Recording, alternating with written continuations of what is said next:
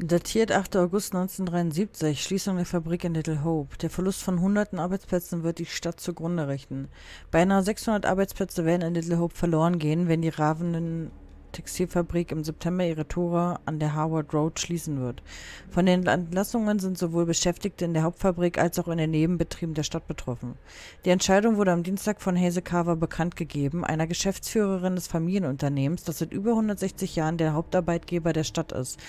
Es war eine traurige Entscheidung für uns. Wir betrachteten die Arbeiter in der Fabrik als einen Teil unserer erweiterten Familie und wir wissen, wie viele Ravenden für sie bedeutet. Aber wir können das Geschäft nicht mehr weiterführen. Gespräch mit der Familie Carver, erklärte McCarthy, aber während die Töchter empfänglich für die Ideen der Gewerkschaft sind, um die Fabrik zu retten, wurden sie vom Bürgermeister Carver stets abgelehnt. Wir wollen eine Partnerschaft mit der Familie und ihre Unternehmen und unser Lebensunterhalt zu retten, aber anscheinend will der Bürgermeister keine Partner. Ein weiteres Gewerkschaftsmitglied, das anonym bleiben möchte, brachte seine bittere Meinung zum Ausdruck: Es geht nur ums Land. Die Stadt gehört schon seit Generationen den Kavas. Wenn sie aus dem Land keinen Profit schlagen können, drehen sie die Hähne zu. Da die Fabrik die Haupteinnahmequelle der meisten Familien der Stadt ist, machen sie sich viele Sorgen um die Zukunft. Die Schließung der Fabrik wird die Stadt zugrunde richten, teilte ein Fabriksarbeiter dem Herald mit. Wir bla bla Busfahrer gesucht, Bewerbung an, bla bla bla. Ich habe ein Bild von dem Richter gefunden. Es ist der Thomas Wyman. Mhm. Als mehrere Menschen in Little Hope als Hexen beschuldigt wurden, hatte Thomas den Vorsitz inne. Später bereute er die Aussage eines Kindes, so viel Gewicht beigemessen zu haben. Die aktuelle Fabrik wurde auf dem ehemaligen Wohnsitz Wymans gegründet. Hm. Ach, hier bist du. Mhm. Aber wer sind die Leute auf dem Bild? Vielleicht gab es einen Zeitsprung. Nicht so ein Zettelchen. Samuel Notchett, Lewiston, 6. Februar 1693. Nachdem ich den Brief von Captain Bond beziehe, anschließend der Vorfälle in Little Hope gelesen und die Anträge der Einwohner gehört habe, möchte ich mit diesem Schreiben meine Betroffenheit ausdrücken. Pastor Carvers Lehren wichen vom wahren Glauben und Frömmigkeit ab. Sein Geist entfernte sich von der Gemeinschaft der Heiligen und gab sich über viele Jahre der Sünde hin. Nachforschungen sollen hinsichtlich seiner früheren Taten angestellt werden, die die Stadt infiziert und verdorben haben. Ich bitte darum, einen Beirat zu gründen, um den Geschehnissen des letzten Jahres samt die Beteiligung des Mädchens auf den Grund zu gehen. Untertänigst Toss Wyman, Richter. Doch, der Pastor ist schuld. Mhm. Naja, ich sag ja, ist wahrscheinlich so dieses Machtding.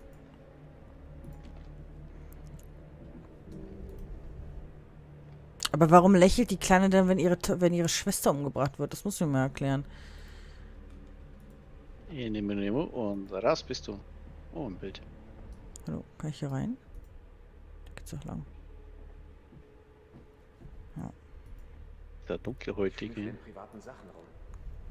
Fühlt sich falsch an.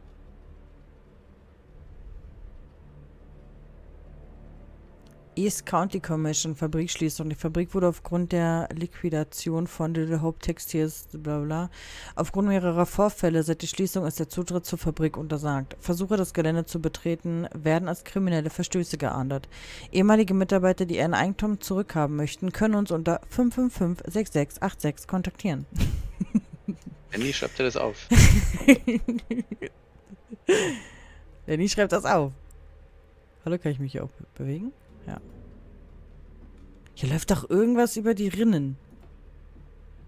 Oder habe ich jetzt einen Dachschaden so langsam? Irgendwas. Die Kamera ist ey, echt fragwürdig. Es klingt teilweise so, als wäre was über, über Rohrleitungen laufen Steht würde. Hier so rum? Okay. Was ist dann deine Theo? Oh. Ach so, ein Bild mit abgerissenem. Mhm. Es ist hm? von dieser Tanja. Auf dem dunkelhäutigen. Hm. Äh. Vince. Ist das die, die wir am Anfang gesehen hatten im Auto? Mhm. Ja. Wo sie da am Schal erhängt hat. Hm. Tatjana oder so. Nee, oder Tanja. Tanja. Hier ist doch irgendwas. Hallo? Kannst du mal weggehen hier? Ich kann hier nicht. Danke. Hörst du das?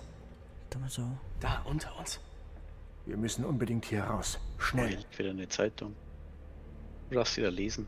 Unter uns ist irgendein Geräusch. Und was geht ab unter uns? Kann der da irgendwie nicht... Komme ich zu dir? Ja.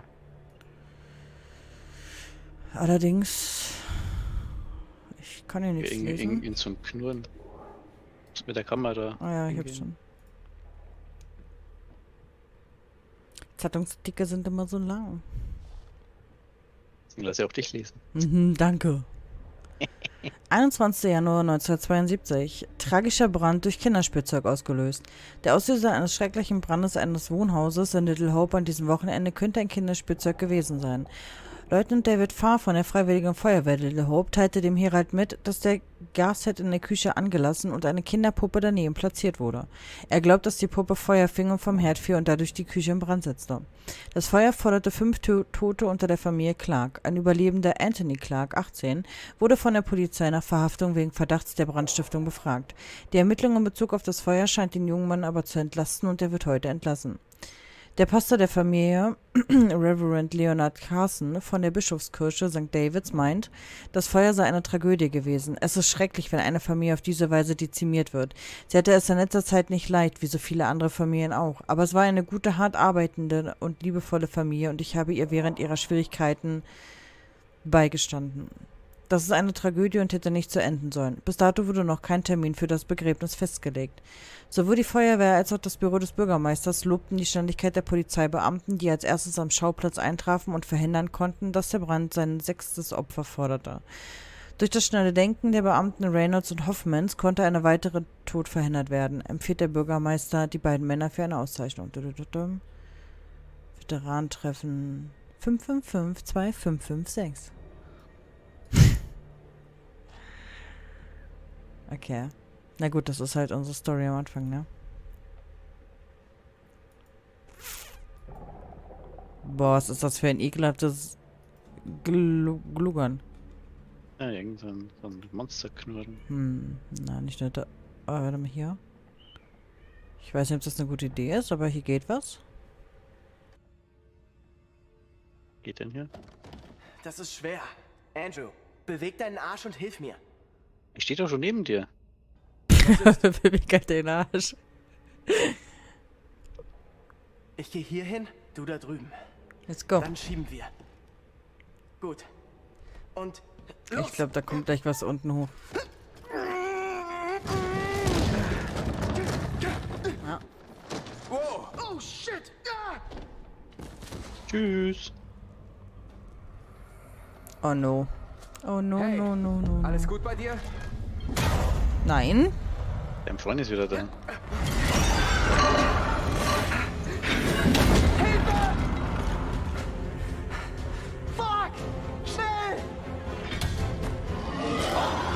Hallo? Hilfst du mir vielleicht mal?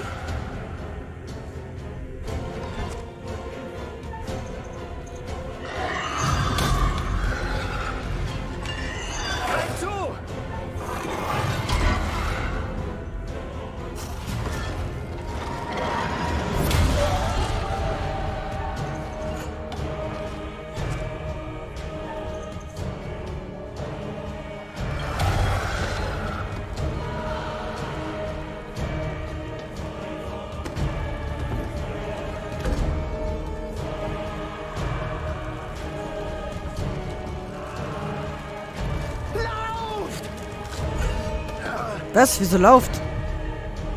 Das habe ich Hast doch gar nicht. gemacht? Das habe ich doch gar nicht gesagt. Hallo? Du hast eine Entscheidung getroffen.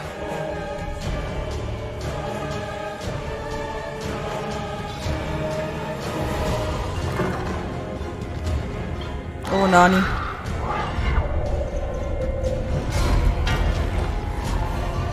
Ich kämpfe mal eine Runde.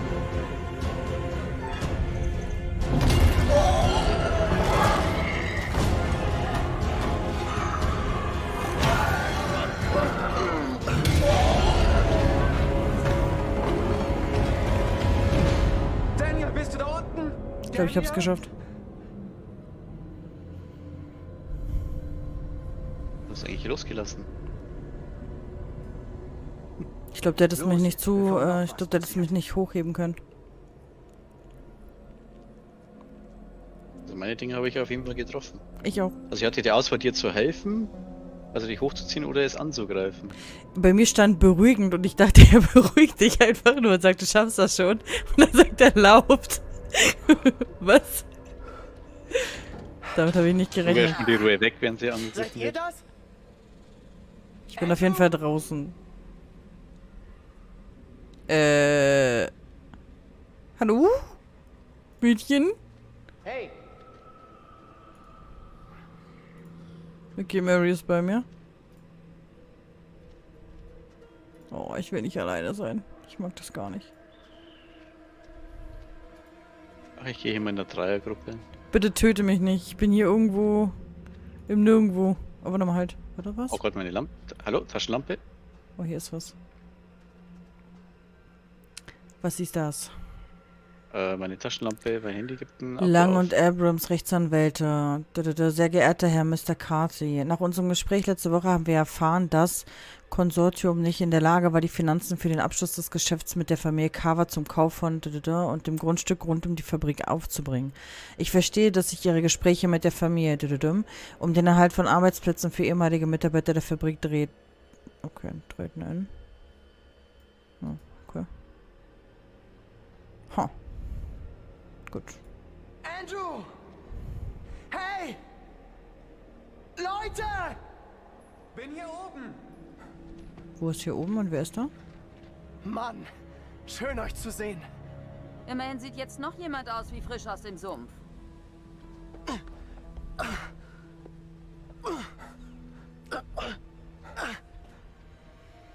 Good job.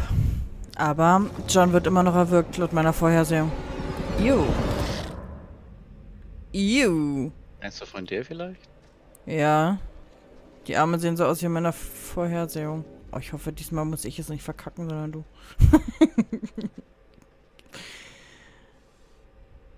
okay, das gleiche Symbol. Ja. Da hinten ist auch noch was. Halt! Bleib doch stehen! Äh, hallo? Jesus. Ja, wisch, ja, wisch mal drüber. Oder machen auf. Oh, ein Foto. Sehr schön. Nett. Ich versuche das zu Willst du vergessen. das angucken? Ich habe nichts zum Angucken hier. Aber ich kann auch nicht an dir vorbei, glaube ich. Ah, Jetzt? jetzt, ja.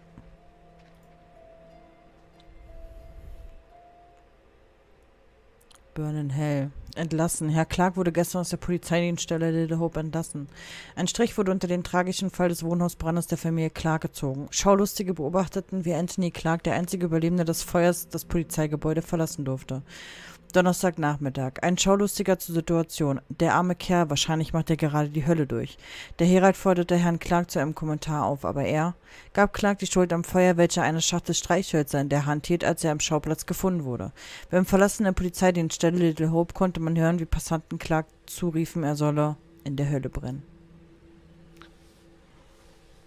Das Ding ist, Menschen sind halt einfach so dumm, ne? Die glauben nur das, was sie in dem Moment gesehen haben. Mhm. Aber das ist ja nicht immer richtig. Was ist das? Ein Mädchen und ihr Haus.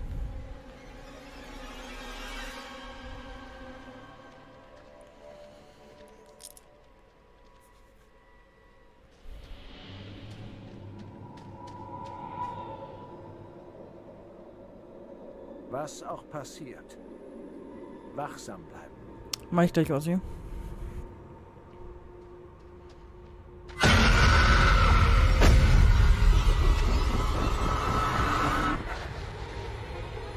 Solange ihr lebt, ist niemand in Little Hope sicher, Joseph. Drum müsst ihr sterben. Selbst euer Weib Amy machtet ihr zu einer Teufelsbuhle. Verdammt mich ruhig. Doch es nicht, meine Frau zu schmähen. Ihr widersetzt euch noch? Ich muss euch den Teufel austreiben, um uns zu schützen. Oh, wen schützt ihr schon? Joseph, entsagt ihr dem Teufel und all seinen Werken. Ich sündigte nicht. Ich bin kein Diener des Teufels. In unserer Stadt herrscht der Wahnsinn. Und Schuld ist die Satans Brot. Mary. Wir müssen das stoppen. Wir müssen irgendwas machen, dass der Pastor quasi vom Teufel besessen aussieht. Fort von mir! Gib das her! Seht! Seht, wie das arme Kind leidet. Joseph hält sie noch im Griff des Teufels. Mehr Steine! So zermalmen wir den Teufel in ihm. Stimmt doch gar nicht. Ach, Menschen sind so dumm, ne? Zaudert nicht! Das Schicksal von Little Hope hängt davon ab. Dass dieser, dieser Strauchhüter nie was sagt, ne?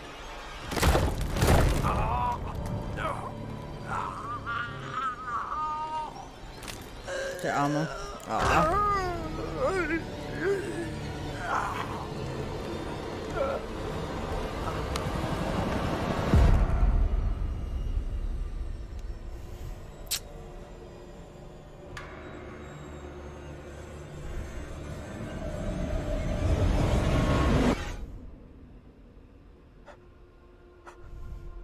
Also ich hätte ihm helfen können oder Mary konfrontieren. Ich habe sie mal konfrontiert, weil mir dachte, vielleicht sagt sie dann irgendwas, ne? Es ist aus. Ja, wenn ich ihm helfe, dann heißt sowieso, der Teufel hilft nicht. ihm. Dann wäre er sowieso tot gewesen. Zeit. Zeit für was? Ugh. Was ist denn das? Vor diesem Biest laufe ich nicht mehr weg. Du weißt, was Taylor passiert ist. Mir soll das nicht Du bist passieren. schon. Bist du verrückt? Wir müssen weg! Komm her, du Biest! Raus! Geh weg von mir. Oh, ich kann kaum.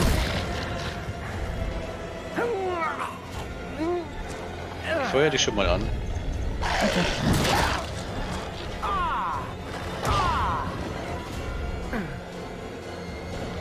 Ja.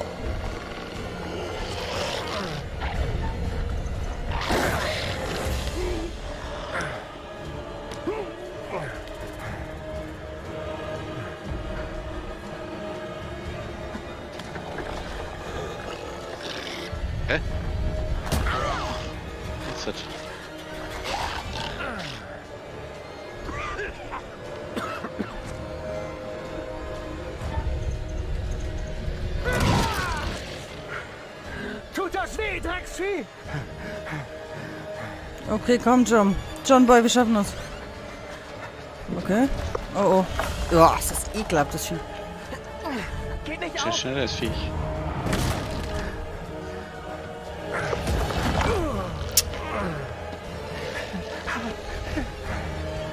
Hilf mir doch. Es! Los, Jawohl. Kannst nicht töten, kannst nur treten. Lass es treten.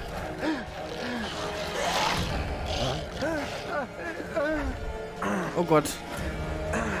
Oh weia. Los, hier rein!